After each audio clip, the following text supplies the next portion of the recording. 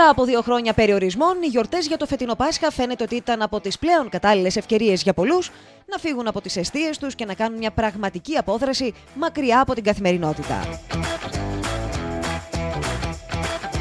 Μέχρι και τελευταία στιγμή παίρνουν, ρωτάνε που μπορούν να πάνε έστω και για δύο μέρες. Το είχε ανάγκη δηλαδή ο Ναι, κόσμος. σίγουρα, σίγουρα. Ο κόσμος γενικότερα είχε μία διάθεση να φύγει, να φύγει λόγω της όλης κατάστασης. Ε, ήταν πολλοί που θελήσανε να ταξιδέψουν.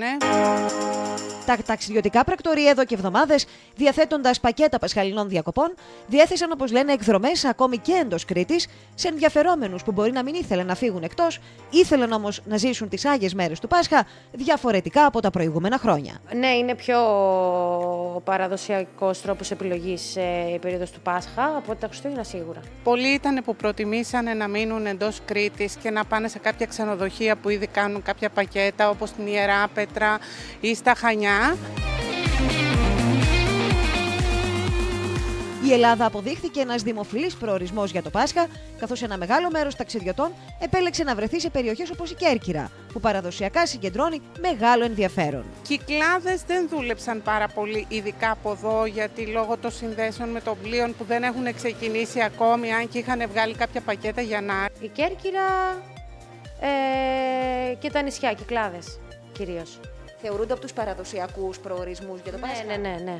Και αν το μεγαλύτερο μέρος θέλησε ακόμη και μακριά από το σπίτι να βιώσει τον παραδοσιακό τόνο, δεν έλειψαν και εκείνοι οι οποίοι τόλμησαν να ταξιδέψουν πολύ μακρύτερα, διαλέγοντας προορισμούς όπως η Βουδαπέστη, η Ιταλία ή και το μακρινό Ντουμπάι. Ευρώπη παίζει πολύ. Ε, Παρίσι, Ιταλία κυρίως. βγάλανε πακέτα από εδώ και για Πράγα και για Βουδαπέστη ε, μ, και η Ιταλία πολύ δούλεψε.